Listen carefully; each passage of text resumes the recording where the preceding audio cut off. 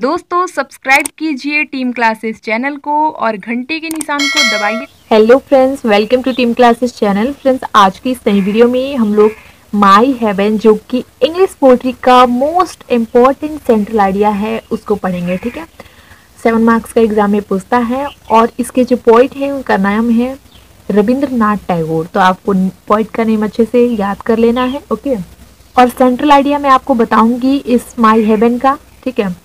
और बहुत ही ज़्यादा इजी वे में बताऊँगी और साथ में मैं आपको हिंदी एक्सप्लेनेशन भी करती चलूँगी, ठीक है, ताकि आपको अच्छे से समझ में आएगा ओके तो चलिए वीडियो को स्टार्ट करते हैं। तो देखिए दोस्तों माई हेवन का मतलब होता है मेरा स्वर्ग ठीक है? माई मतलब मेरा हेवन मतलब स्वर्ग तो रविंद्रनाथ टैगोर जी द्वारा जो लिखा गया है माई हेवन मेरा स्वर्ग ठीक है?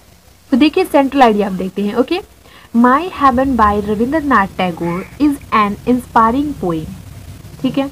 इसमें कह रहा है कि रविंद्रनाथ टैगोर जो है, रविंद्रनाथ टैगोर जी द्वारा मेरा स्वर्ग, ठीक है, माई हैवन एक प्रेरणादायक कविता है इंस्पायरिंग पोइम यानी प्रेरणादायक कविता है okay in it the poet gives the picture of an ideal India of his dreams यानी कह रहा है इसमें कि, इसमें कवि इन इट द पोइट यानी इसमें कवि अपने सपनों की आदर्श, ठीक है आइडियल इंडिया मतलब होता है आदर्श भारत की तस्वीर देते हैं। The picture of an ideal India of his dream यानी अपने सपनों के आदर्श भारत की तस्वीर देते हैं okay he prays to God that the people of his country should be fearless and brave इसमें कह रहे हैं, इसमें कवि कहते हैं रविन्द्रनाथ टैगोर जी कि वह भगवान से प्रार्थना करते ही प्रेस टू गॉड कि उसके देश के जो लोग हैं हिज कंट्री ठीक है? उसके देश के जो लोग हैं should be fearless and brave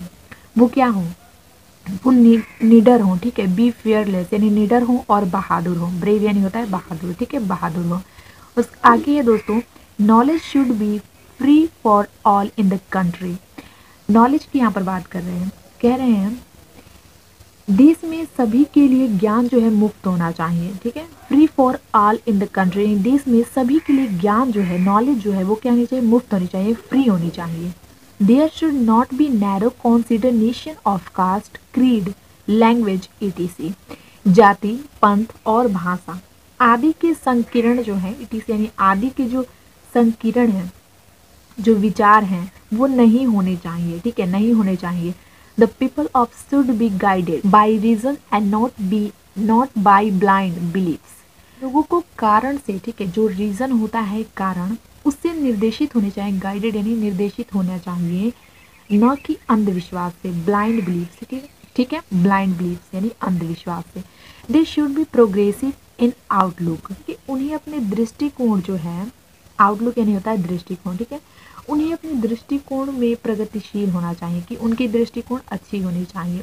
They should try to keep country united उन्हें देश को संयुक्त रखने का प्रयास करना चाहिए। ठीक है they should try to keep country united जो देश है, उसको संयुक्त रखने का प्रयास करना चाहिए ट्राई करना चाहिए। Okay they should be blessed with freedom उन्हें स्वतंत्रता के लिए आशीर्वाद दिया दिया जाना चाहिए। उन्हें स्वतंत्रता के लिए क्या देना, दिया जाना चाहिए? आशीर्वाद दिया जाना चाहिए। ठीक है? ब्लेस्ड यानी होता है आशीर्वाद फ्रीडम यानी होता है स्वतंत्रता। ओके तो दोस्तों माई हेवन का ये सेंट्रल आइडिया था। हिंदी एक्सप्लेनेशन के साथ मैंने आपको बताया अच्छे से।